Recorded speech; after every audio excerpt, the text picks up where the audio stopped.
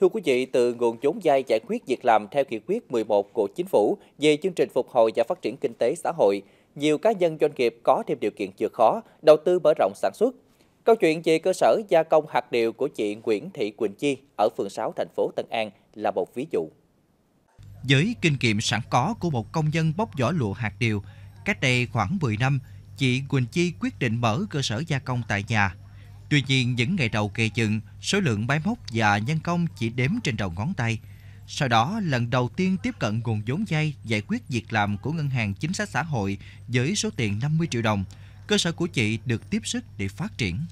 Ban đầu thì à, mình vay vốn về thì à, mua máy, mua bàn, mở rộng kinh doanh rồi à, cũng hỗ trợ cho chị em gần ở nhà. Thấy nguồn vốn thì kinh doanh làm cũng có hiệu quả rồi à, à, ai mà chị em phụ nữ ai có cần thì à, liên hệ ngân hàng chính sách hỗ trợ.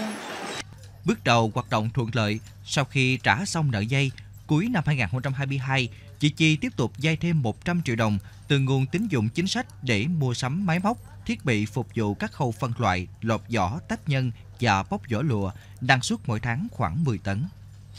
Tôi làm nay cũng 7 8 năm rồi. Và công việc thì nó cũng cũng ổn, cũng bình thường. Như tranh thủ những lúc mà đi đưa rước con á, rồi thời gian còn lại ra trống rảnh bao nhiêu thì vô tôi làm.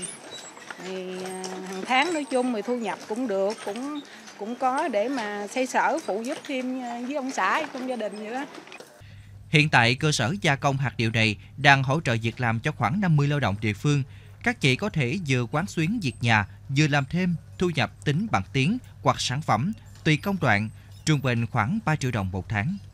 À, công nhân ở đây là không có làm cái giờ giấc ổn định, cũng đi ra đi vô để à, rước à, học sinh, học trò thì à, cái thu nhập thì cũng ổn thì cũng à, đủ để trang trải cho gia đình.